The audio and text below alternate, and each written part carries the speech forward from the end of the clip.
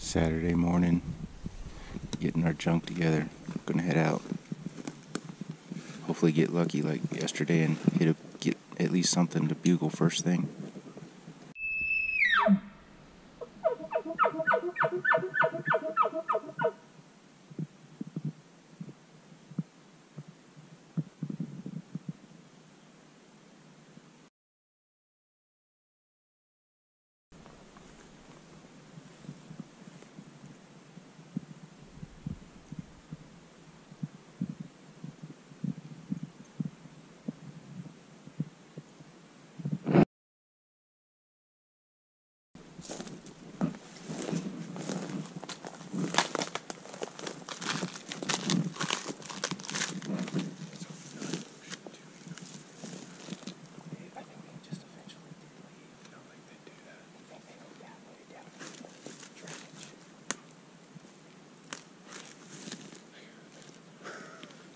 Brian and I, we uh, we stumbled into some elk today. How how we stumble into those elk? I went to take uh, poo number two for the day, and um, I bumped some elk. Didn't have my bow, didn't have my pack, didn't have my bino harness. had baby wipes though. So we kind of messed with them for a few minutes, and uh, I don't think we gave them a hard bump. So what we're doing now is, since we, you know, the bugling's not really working out a whole lot, we're sitting here waiting. We're hoping that we didn't bump them bad, and that they're going to go down in this drainage and in bed. So what we're going to do is we're going to kind of wait until the thermals shift, and then creep down in there and start bugling and see if we can't get the herd bull or any bull to come check us out. Heck, a cow. We'll go for a cow. So, so the that's our plan right now. So we're doing some coffee, doing some probably going to do some breakfast before we head down in there. I was thinking about it while I was over there handling some morning business, and uh, it's been some tough hunting, and we're kind of discouraged. But realistically, I think we've been around elk every day. Every day. Every day there's been elk. Usually they're running by us. Chris still has not seen. I've not seen an elk. But you've heard them. I've seen them. These those ones this morning were inside 40 yards easy, maybe inside of 30, but I could not see them between the slight roll in the hill and all this deadfall. It's really thick right in here. I mean, you can't see 20 yards hardly in here. Um, so that's that's our plan. That's our plan. Day four, we're tired. Ready to go home, actually. Yeah, and uh, if I could see one of these jokers, it'd probably help me out a little bit. But today's our last full day. We'll probably hunt our way out tomorrow morning. Um, do some calls and stuff on the way out. See if we get anything. But other than that, that's all we got right now. The cameras are kicking my butt. They're dying all the time. The buttons are getting pushed when I go through the brush, and so that I find them turned on later. So then I run out of SD card space. Some of that I can take care of, but some of the cameras I can't take care of without a computer. So they're killing my batteries. My battery pack, my spare battery pack, is really for my phone because that's my map system, and not for charging cameras that keep getting turned on, on accidentally. This camera I'm using right now is not my normal camera for this because the other one just flat died. I, it won't turn on, it won't turn off, take the battery out, nothing. So, once again, it's Struggleville for cameras and hunting.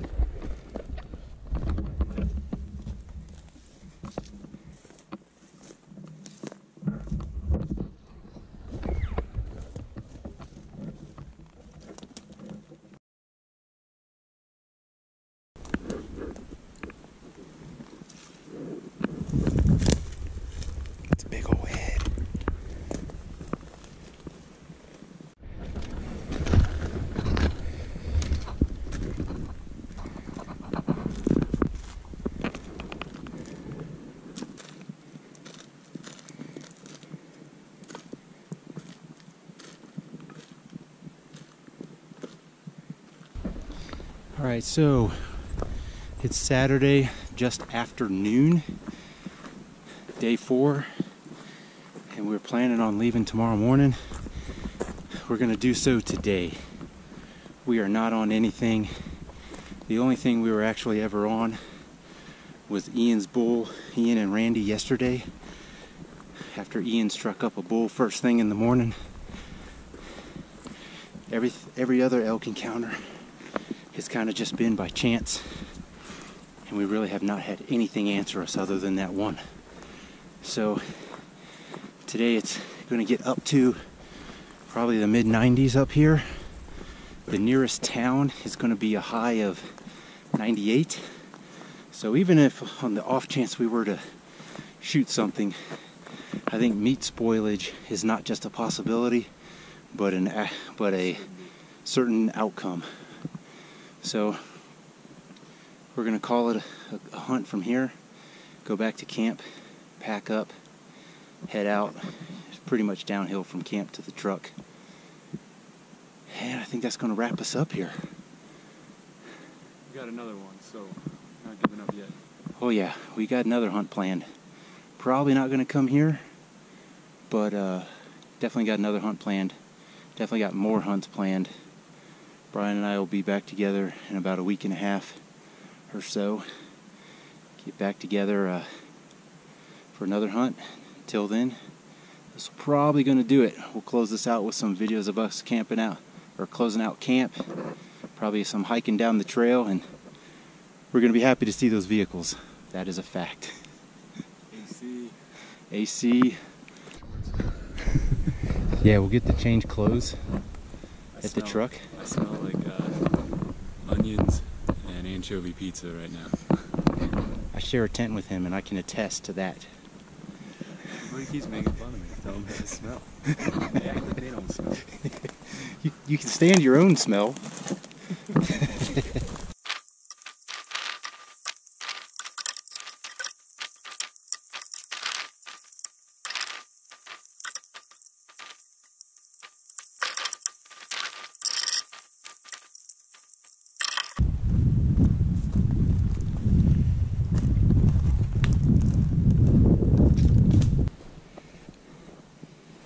Well, place is getting crowded.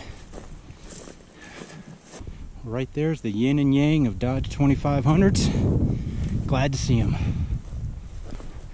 A little fire and ice.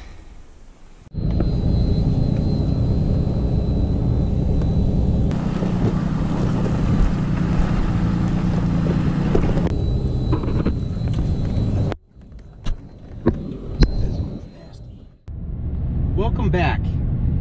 It is now Monday, Labor Day, so it's been about two days since I got home. I got home late Saturday night from uh, hunting with Brian, Ian, and Randy. And uh, I'm heading out to southern Colorado for just a day hunt. It's very smoky, so there's a haze in the sky blocking the sun, so it doesn't quite feel as hot as it actually is because the sun's not really beating down on you but it is quite warm. It's going to be in the, the low 90s where I'm at. I'm fully prepared with ice and coolers. And if I were to actually get an elk, I'm, I should not be that far from the vehicle. So if it was going to be one of those things where I'm two miles from the vehicle, I probably just wouldn't hunt today because uh, of the meat spoilage issue. I'm going to the spot that uh, I was last year where I had a bull bugling, but I couldn't figure out how to get to him. Also in that spot was where I was set up where a, uh, a mesa kind of cliff face breaks, and there was a good game trail there, but the, the elk actually came down about 200 yards from me. So I missed them that night. So I'm going into that area. Hopefully nobody else is there. And so that's the plan. That's what we're doing today. I thought maybe I'd do a day hunt later on in the week, but then I realized, ah, you know what? I can go today it's Labor Day. So elk season's 28 days and you kind of got to make use of what you can. I don't feel like my legs are under me right now. I don't feel like I'm fully recovered from those from the hunt with Brian, but uh, I shouldn't have to hike a whole lot. The problem will be if I actually get something, then I'll be then I'll be hiking. Then then it'll be worth gutting through.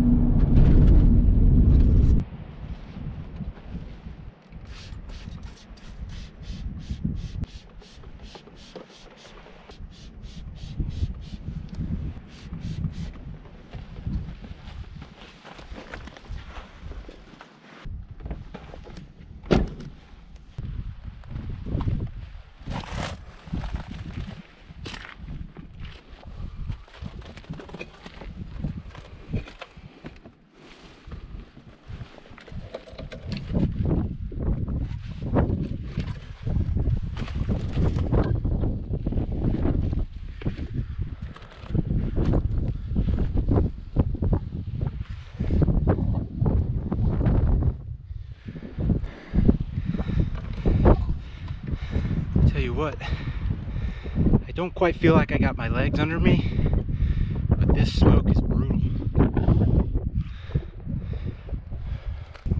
It's really, really windy out, very dry, and seems smokier than when I got here.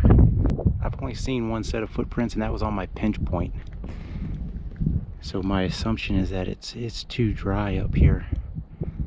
I'm gonna end up doing some calling sitting and calling and sitting and, and probably just end up finishing the night on that pinch point.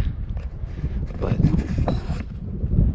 this is why I couldn't figure out how to get over to that bull last year. If you can see that, that's what was between me and it. That's why he wouldn't come to me and I couldn't figure out how to get to him.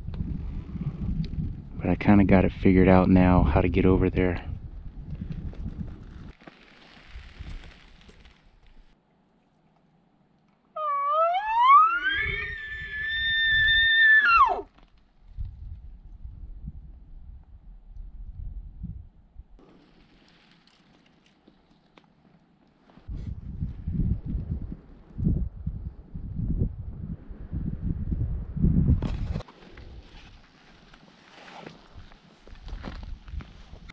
Followed those tracks around for a good ways and I realized they're, they're not that fresh. Any poop I came across wasn't fresh at all. The rubs that I came across, they weren't sappy or sticky or wet or anything, so those are probably at least several days old. They just look fresh. It hasn't rained down here in forever. So now I'm just posted up on this pinch point. And I'm going to sit here for about the last 90 minutes illegal. There was only one set of tracks going over, so it wasn't beat up like it was last year. So I think my odds are going to be pretty low. I don't think this area has any water, so I think the elk are going to be near water considering how hot it's been. Yesterday it was 100 down here, day before it was about 100. It is dry, dry, dry, and smoky. Good lord. Can't even see the hills and stuff over there.